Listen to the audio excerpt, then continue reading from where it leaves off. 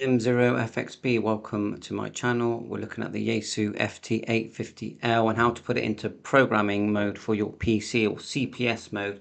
Nice and easy. All you do is turn the device off, hold down the squelch key, which is underneath the PTT, and then turn it on and the screen will say CPS mode.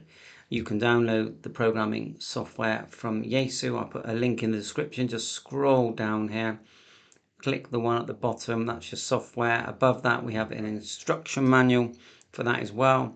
This is what the programming software looks like, and we'll be doing more in-depth videos on how to use it. But just a quick overview here.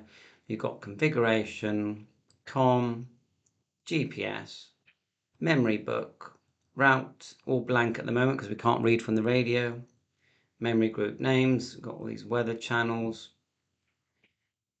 you can save, you can print, you can XML file, open and save, exit, read and write the radio, select your COM port, and there's a help thing here which will probably tell you what version you've got. So it's a fantastic little airband receiver and um, this is what the the instruction menu, uh, manual looks like for the programming software. It's you know a lot to learn as usual, but uh, it will be fun learning and then you'll be able to use your your uh, for you know I'm just a ham operator. So bye for now. Seven three. All the best.